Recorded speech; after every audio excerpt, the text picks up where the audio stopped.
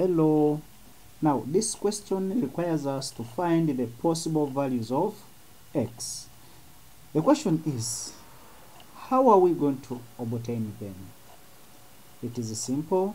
We are going to first express 125 exponent x in terms of 5 exponent x. And 125 can be written as 5 cubed and 125 exponent x this is equal to 5 cubed exponent x.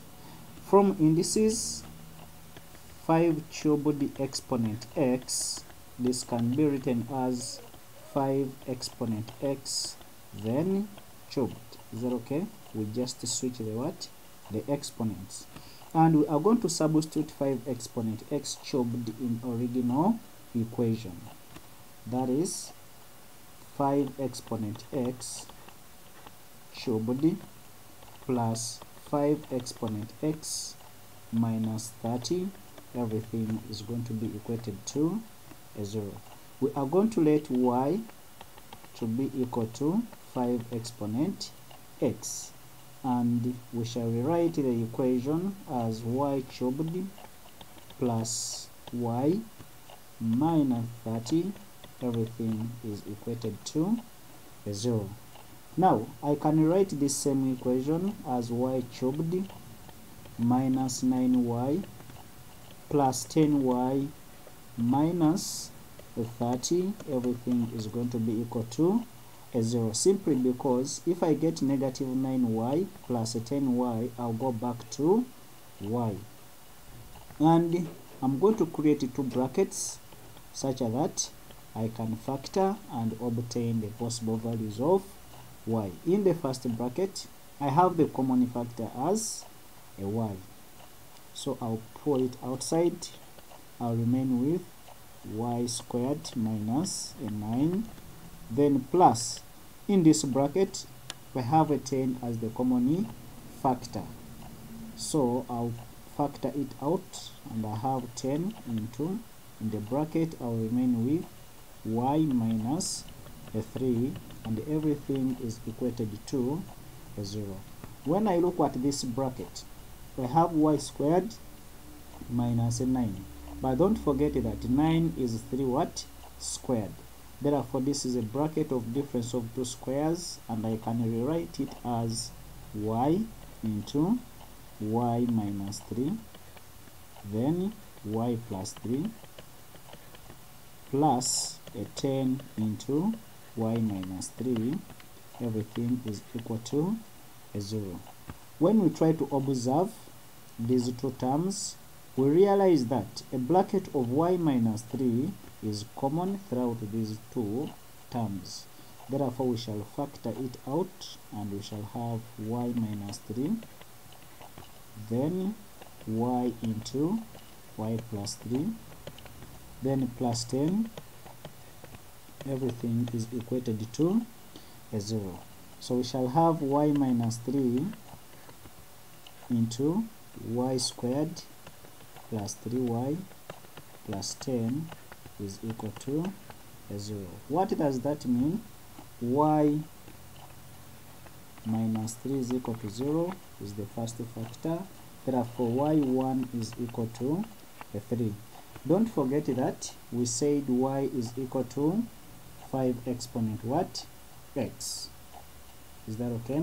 Therefore we shall say 5 exponent x is equal to a 3 we want to obtain the values of what? X meaning that we shall introduce log to base 10 and obtain the value of x. So that is log 5 exponent x to base 10 is equal to log 3 to base what? 10 from logarithms I can drop this x there is that okay and we shall have x logarithm of 5 base 10 is equal to logarithm of 3 base what? 10 we need to obtain the value of x therefore we shall divide both sides by logarithm of 5 to base 10 on both sides. This one can cancel with that and we shall remain with x1 is equal to what is logarithm of 3 to base 10 place your calculators. Mm -hmm. that is 0 0.4771 to four decimal points. Divide by what is logarithm of 5 to base 10 that is 0 0.6990 to 4 decimal points. Is that okay?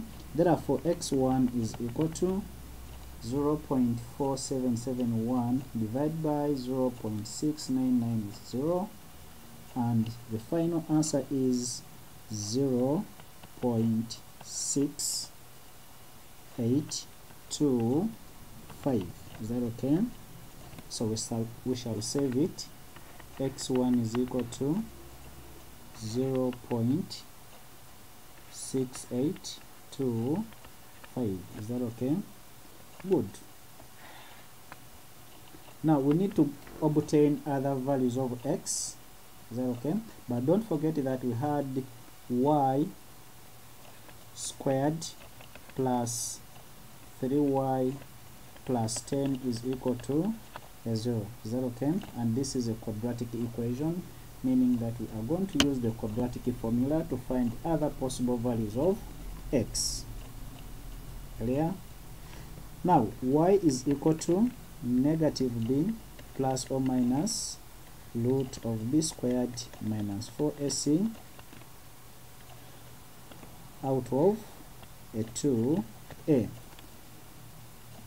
a. is 1 which is the coefficient on y squared b is 3 the coefficient on y and then c is 10 which is the constant in the quadratic equation. And therefore y is going to be equal to negative 3 plus or minus root of 3 squared minus 4 times 1 times 10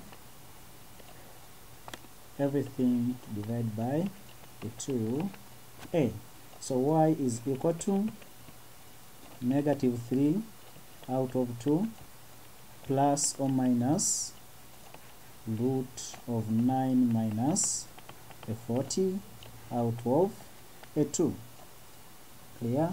So y is equal to negative 3 out of 2 plus or minus square root of negative 31 out of a 2 let us first deal with square root of negative 31 is that okay? So this is the same as saying square root of negative 1 times 31 and from sides if I have a times b and a root this can be written as side of a times side of b. Therefore for this case this is equal to square root of negative 1 times square root of what? 31 and don't forget that square root of negative 1 is equal to an imaginary what? number. Therefore this is i root 30 what? 31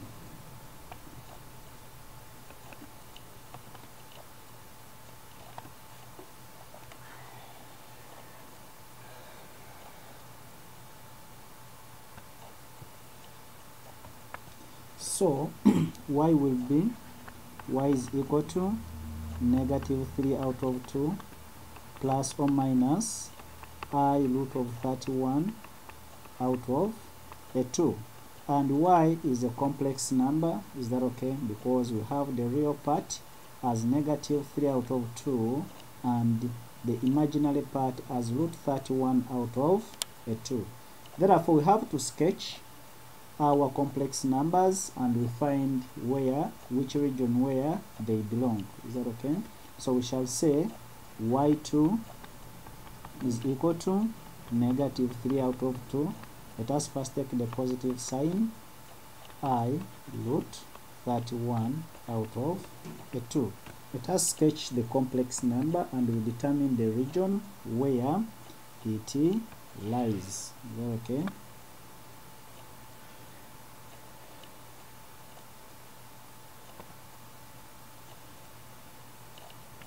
mm -hmm.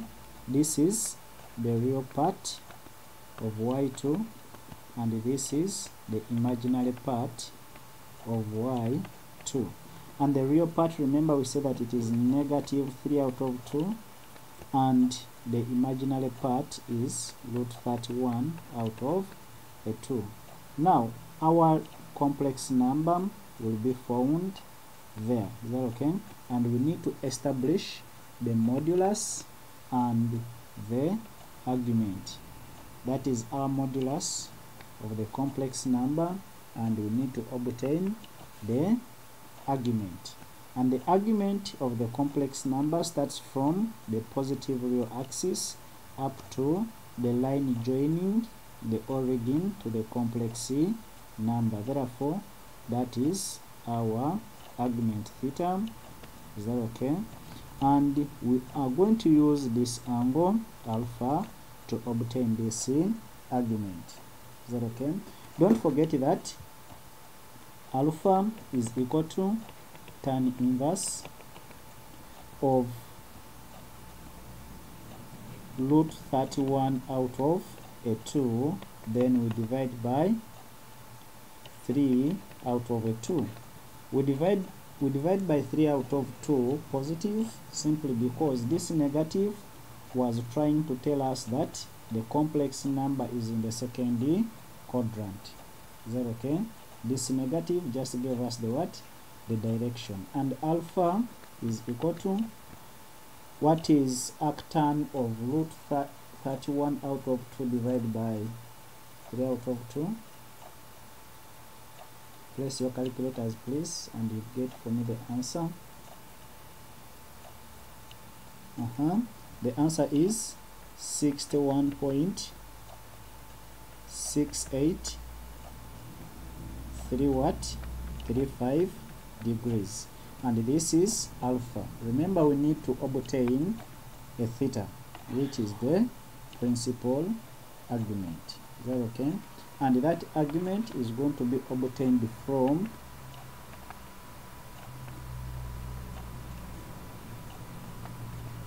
um, theta is going to be equal to 180 degrees minus alpha. Is that okay? So theta is equal to 180 degrees minus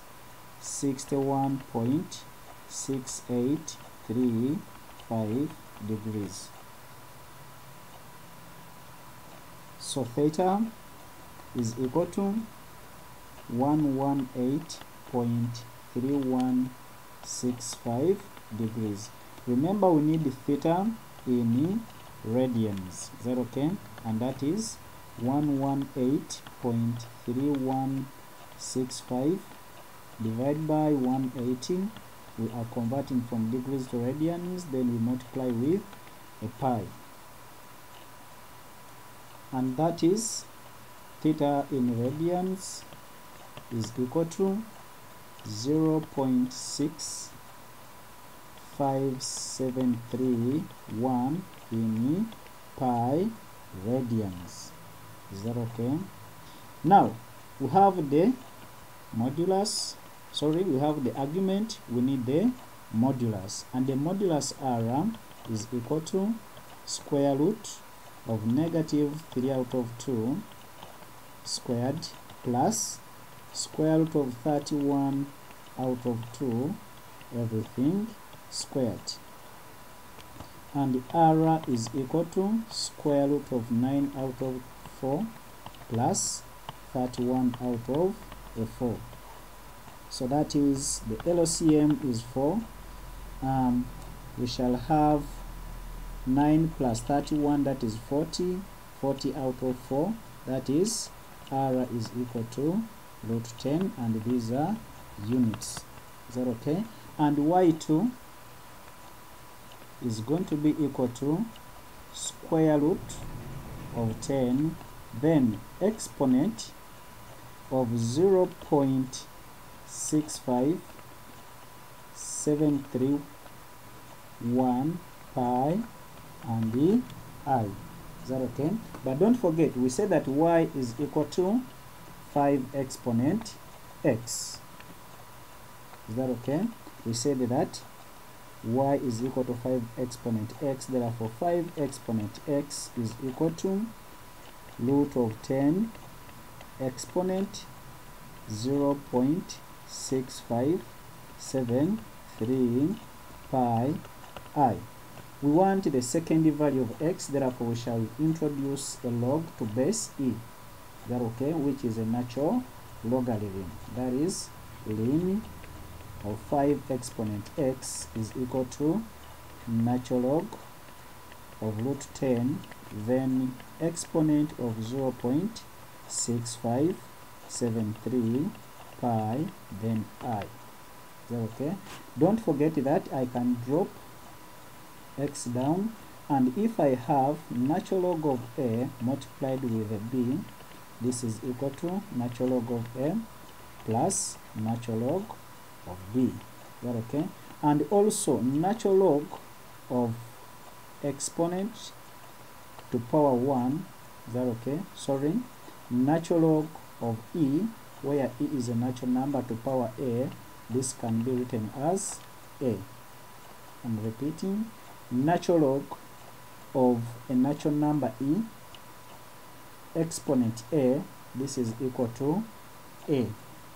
And in our question we shall have x ln of 5 this is equal to natural log of square root of 10 plus natural log of exponent of 0 0.6573 pi i. Is that okay? So we shall have uh, this is x natural log of 5 is equal to natural log of root of 10 plus 0 0.6573 pi i we want to get x2 therefore we shall divide by natural log of 5 on both sides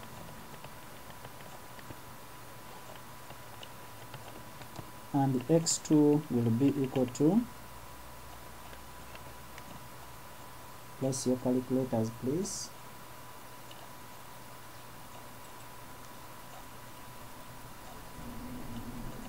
mm -hmm. this is 0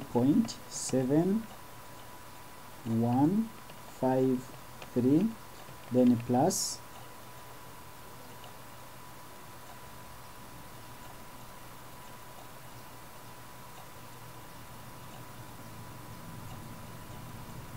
mm -hmm. that is 1.2830 then imaginary number therefore x2 is going to be equal to 0 0.7153 plus 0 point sorry it is 1.2830 i. We need to get other values or other value of y. Is that okay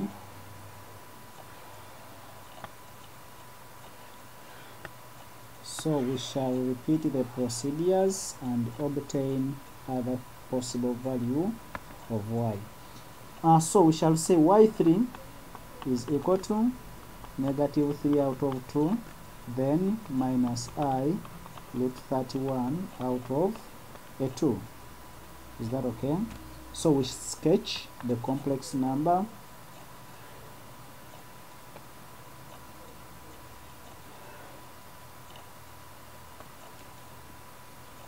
mm -hmm. this is real part of y3 and this is imaginary part of y3 the real part is negative and the imaginary part is also negative. Is that okay? So we shall plot and that is our complex number remember we need to get the modulus and the argument. So this is the modulus from that point up to where we find our complex number. And we said that the argument is the angle from the positive real axis up to that line. And this is our theta and we have alpha there. Is that okay? So don't forget that in the previous complex number y2 we obtained the alpha as mm -hmm, alpha was equal to yes tan inverse of root 31 out of 2 divided by 3 out of 2 remember we said that these negatives tell us the direction or the quadrant where the complex number y3 is lying. Is that okay? And for y3 is lying in the second sorry the third quadrant. Is that okay? Y2 was lying in the first in the second quadrant and y3 is lying in the third quadrant. And alpha is equal to get for me the answer mm -hmm. that is 61.68 3 5 in degrees. Is that okay? But don't forget that we want theta. And the theta is equal to uh, this is negative because this angle is supposed to be negative 180 degrees minus 61.6835 degrees. I'm placing here negative because clockwise angles are always what? Negative. Anti-clockwise are always positive and clockwise are negative. Therefore theta is equal to negative 118.3165 degrees. We want theta in radians and that is negative 118.3165 divided by 180 then we multiply with a pi so theta in radians is equal to 0 0.6573 pi and this theta is in radians which is our principal angle. Is that okay? So we need to get the modulus and that is equal to square root of negative 3 out of 2 squared plus root 31 out of 2 squared is that okay? So r is equal to square root of a 10 and y3 is equal to square root of 10 then exponent sorry this was negative. Negative 0 0.6573 then pi i. Is that okay? We said earlier that y is equal to 5 exponent x. Therefore 5 exponent x is equal to square root of 10 exponent of 0 0.6573 pi i. We introduce natural logarithms and we shall have x. Natural log of 5 is equal to natural log of root 10 then plus negative 0 0.6573 pi i. Is that okay? Therefore x3 is going to be equal to we divide by ln 5 on both sides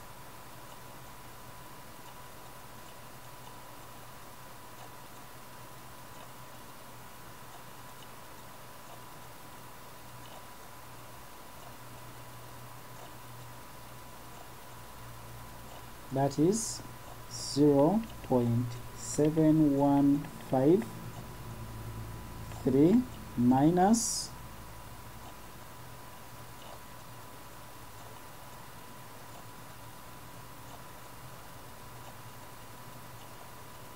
mm -hmm, that is 1.2830 i.